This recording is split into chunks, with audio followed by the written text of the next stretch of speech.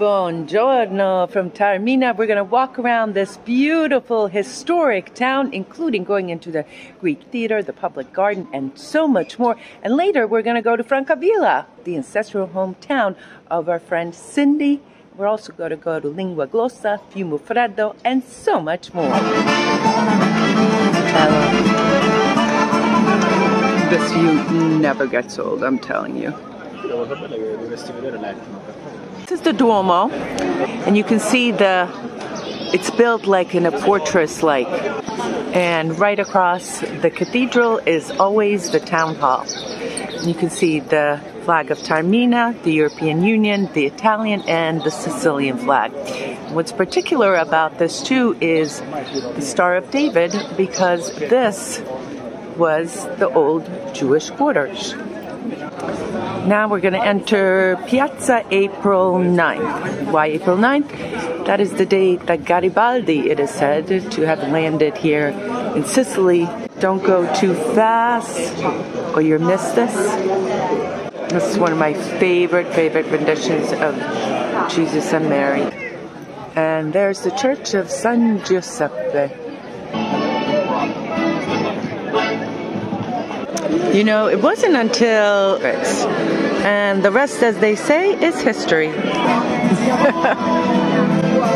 I just like sitting here and people and dog watching.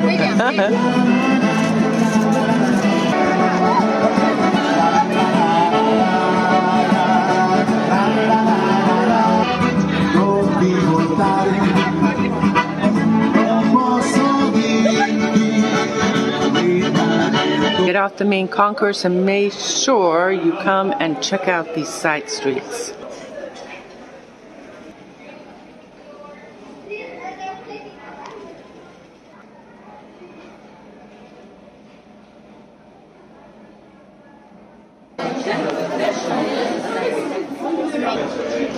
Sicilians are such great artists. And here's the famous Naumachia. This is where they had the naval battles, or, well, they don't know exactly what this was used for, but it's a beautiful place to walk through. That plant over there are capers. They're grown wild here. This is just a beautiful walk, especially in June when everything is bloom, but also in May. This is one of the most impressive walls in all of Taormina. But actually inside is a museum. And there are the famous Testa di Mori.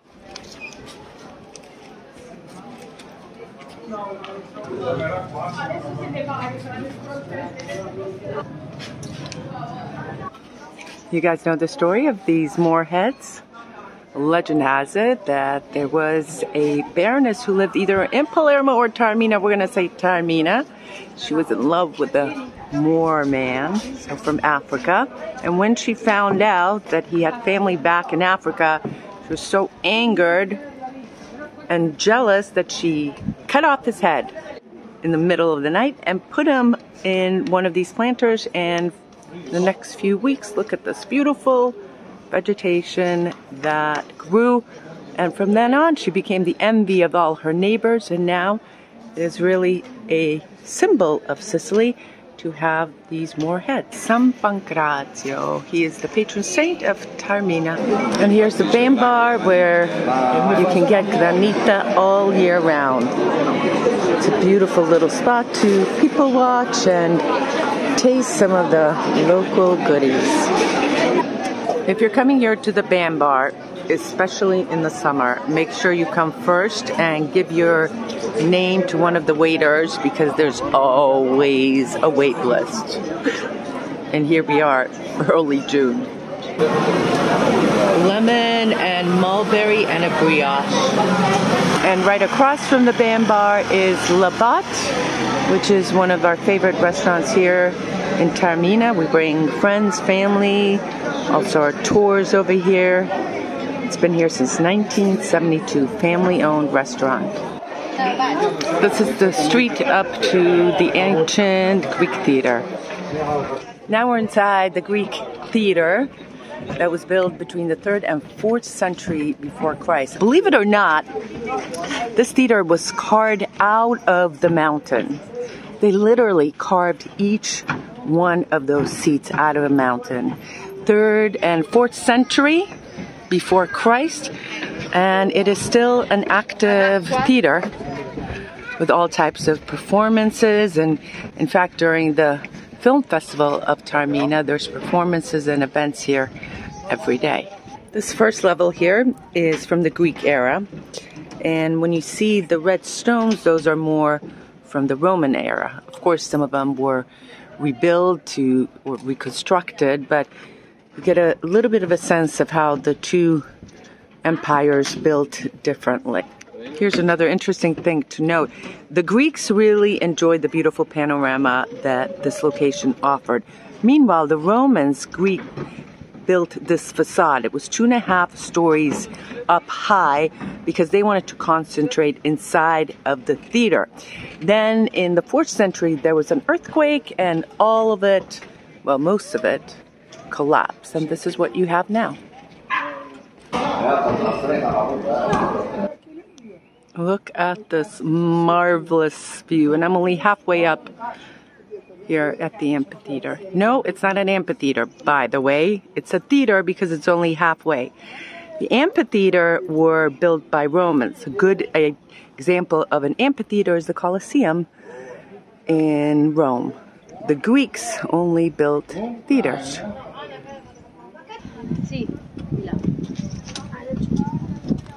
Imagine carving this out of a rock right at the most perfect position. Ancient ingenuity. It's incredible. When the Greeks built this, they used it for comedies. When the Romans came and put that facade and you know, perfected or did their own style of a theater, they had gladiator games. So they had to move the bottom part of the stairs to make room to bring in animals and also have gladiator fights. If you go straight over here, you will hit Messina up there around.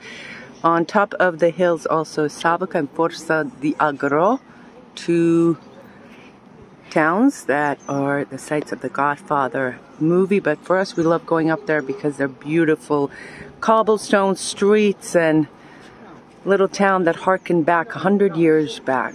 Time stands still in those little towns. Imagine during the Greek times there were 5,000 or so spectators. Then when the Romans built upon it, more like 10,000. Now, one to 3,000 people are able to sit in here. But just imagine Etna right over there. She's hiding behind the clouds, but normally you can see the Ionian Sea and Etna, and of course the stage. Check out right here. Have the Ionian Sea and Etna. But really, from any angle, it's just beautiful.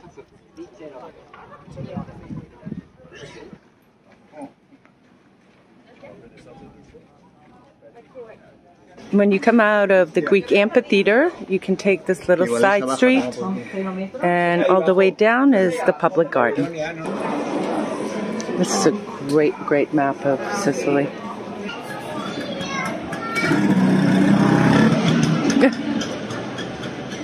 How beautiful this is.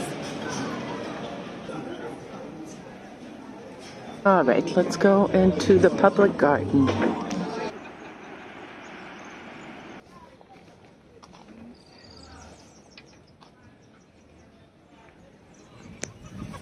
right inside of the public garden, there's this fitness section.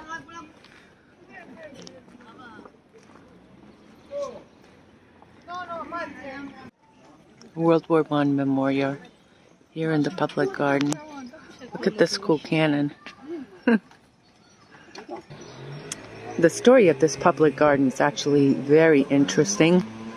It was a Victorian woman, Florence Trevelyan, who came here in 1889. She loved all things nature and she was Scottish and she decided to move here at the age of 37.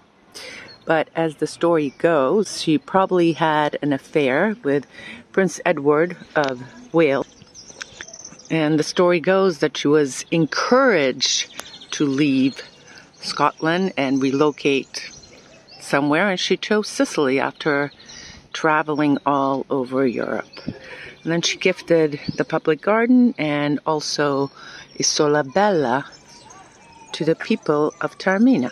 So now it's a public garden and you can freely visit. And some of these structures held all types of peacocks and birds. Very, very, very well kept garden. This is Corso Umberto, of course, one of the main streets here in Taormina. There's Taormina also at the bottom and streets going left and right. But this is sort of the area in between the Porta Catania, which is the gate of Catania, and the gate of Messina, which is on the other way.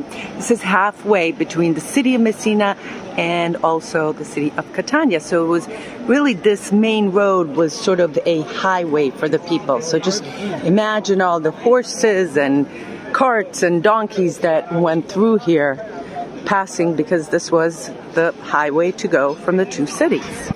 This is called the Odeon, which was uh, uncovered around the 1800s. It's a small theater that housed about 200 people of the most important in the Roman era. So all the, you know, the nobility, so to speak. Now this is built on top of a Greek temple. So this was a Greek temple dedicated to Apollo. It's built on the remains of it. The seats are the Roman impact. Yeah, let's go back to the Bella.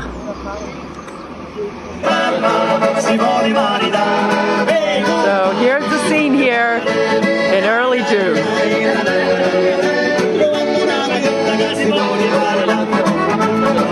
C'è la mezzo mare,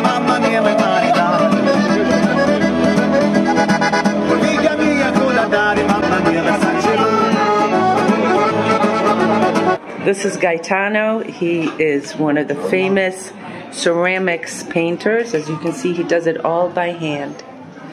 And his stuff is very unique. You can't find this in places like Sciacca, Caltagirone, or Santo Stefano de Camastra. He's got a very, very unique style.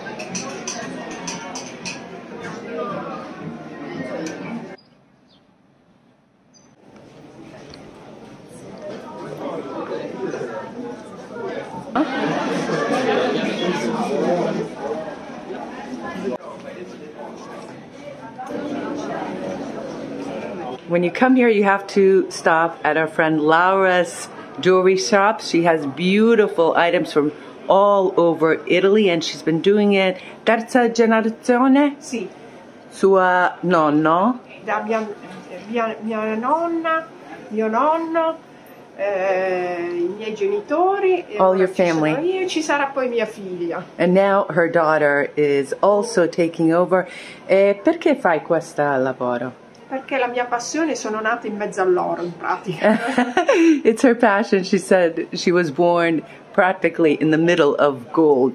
By the way, we have this is where I get our trinacrias. If you guys, we still have some sterling silver trinacrias left. I think I have about 10 of them left. And this is what they look like. And they get them right from here beautiful sterling silver trinacrias. So if you want one, make sure you message me. But she's got all types of other great Sicilian items. I particularly like the ones over here with the maps. Those are very cool. But she's got silver, she's got gold, uh, she's got coral, all Italian products. And when you come here, tell them that Eszter and Alfred sent you. Grazie cara, ci vediamo. Ciao! Ciao.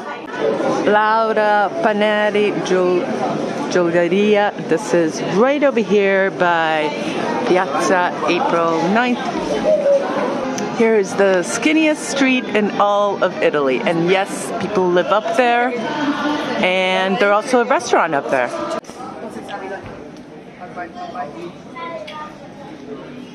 Sushi is like the hippest new thing. In all of Sicily. I always find something in this shop. There's one in Taormina in downtown Catania, Cefalù, also in Ortigia. Just love their funky, funky style. In questo momento c'è una esposizione dedicata a una donna inglese che è Miss Mabel Hill. Display here dedicated to la signora, come si Mabel Hill, Mabel Hill. Lei donna è inglese. English from okay, so she's English, and this is dedicated to her. E lei fa Nel, questa la- nel- nel lavoro 1898 si è trasferita qui in, in Taormina in e ha aperto, 1888. She was transferred here to Taormina, e ha aperto una scuola di ricamo. Cito. and she opened a school for sewing, Queen Taormina. Ed ha insegnato alle maestranze siciliane Wow. il punto inglese, che è una Look at this. So she taught the Sicilians how to sew. Also, embroidery here. But that is very cool. And of course, there's always the collection of books from all over Sicily. Very cool. There's always some kind of display here. If you saw our New Year's Eve video that we did from Taormina, there was a display of the Christian, Arab, and Jewish faiths that coexisted here, and there were different pieces from that era. So when you're here in Piazza April 9 and the museum is open, make sure you check it out. Grazie. Ciao. Ciao! I know we brought you several scenes and videos from Taormina, including one we did on New Year's Eve. That was spectacular. But here we are six months later, and it's a quite a different scene. Santa Caterina, this is the oldest church here in Taormina.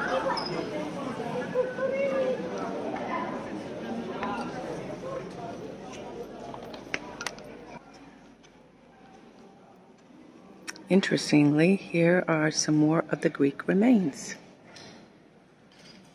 So, Christina is one of our guides here, and tell us why Taormina is so historically important. Of course, we know it's beautiful, but historically was very important. It was first of all a Greek colony and then a Roman town, and is strategically based between Messina and Catania. So it was a walled town, a little bit over the sea. From here, it was possible to see all the surroundings, and it was an, it has been an, an obliged passage for many people until the middle of the 1800s. And Taormina today it's a kind of summary of what you have all over Sicily. Typical Sicilian town. You have all the different populations that we had here in, in Sicily. You will find them here in Taormina, so that's why many people want to come here. So it's a summary. And the Greek amphitheater, of course, is one of the most important. Uh, what other sites besides the public garden? public gardens, the little Roman theater, because just well, very close to the main street, just behind the church, you have a Roman theater, a small one, Odeon. Odeon, Odeon. Then you have different churches, for example, the main church of Taormina, the cathedral, that looks like a castle because it was also a fortification.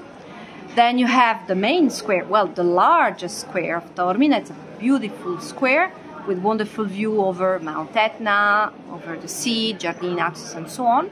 And then in the surroundings, you can go up to the uh, Madonna della Rocca. Mm, There is a little church just overlooking the sea and overlook, overlooking uh, Taormina. And then uh, you have the side streets of Taormina, also really interesting, richly decorated. We have the narrow street of Taormina. It's a very narrow street, less than 50 centimeters, also really nice. And, And then the views. the view, the view from Taormina, and then the food, the atmosphere of Taormina. The Granita, the famous Granita. Bam Bar. Granita, cannoli, ice cream, gelato, arancini. Well, the list is too long, maybe. Grazie mille. This is the town crest of Francavilla, Chiesa San Annunziata, 16th century.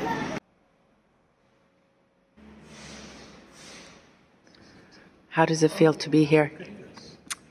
It's breathtaking. Just absolutely breathtaking. Your grandfather, Antonio, Antonio Tatti was born here, lived here, came from here to America. And what are your memories of him? Oh, he was just the loveliest man. Just the loveliest man. Hard worker. Just a, a great, great man. I was only six when he passed away, but I do remember him vividly. One of my best childhood memories. And what does it feel like being here in Francavilla in the very church he was probably baptized in? Very emotional. I didn't think I would be. You walked in and started. and I felt him. I just felt him here. So, and I know my dad and my grandfather would be so proud that I'm here.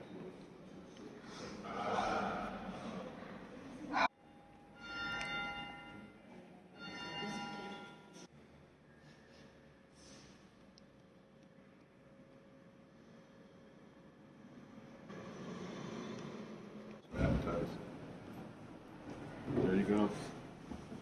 As you were sitting in that church, you said several prayers. How did you feel? I just felt like I felt my grandfather's presence. I felt his arms around me, and it was just the best feeling ever. Is- He came with us on the entire tour, huh? He did. He absolutely did. What was it like walking on the footsteps your grandfather walked on? It was amazing. All I could think about was him being a child and and being there and wondered what his parents were like or what what his life was like there and so blessed that he came to America and gave me my father. So, yes. And his name was Antonio, and your father? Antonio Joseph. Joseph. He would say Giuseppe. Giuseppe. Giuseppe. And uh, did you grow up eating uh, Sicilian foods? Absolutely not. no. No, no. And your my mo- mother was the worst cook, cook in the world. So, for those people considering visiting their ancestral hometown, what would you say? Oh, absolutely. Do it. It just, you won't believe how it touches your heart and your soul. It's a Madre Madonna della Grazia, 1728 here in Linguaglossa.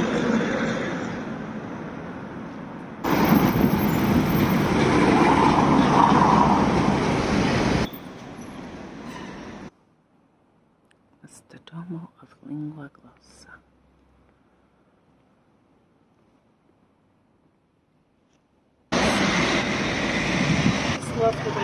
Castiglione di Sicilia. Look at this wall we just stumbled upon. Rapisada. Elena. Look at this. This is so. Mongibello. That's the name of Etna. Oh, that's exactly what she's doing right now. This is absolutely beautiful. This is in front of her house.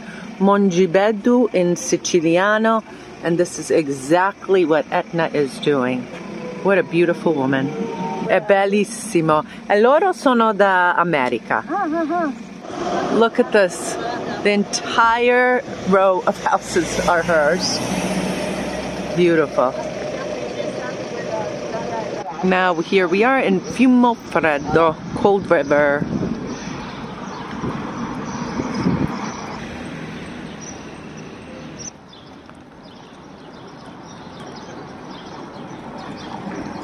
Gate of Linguaglossa.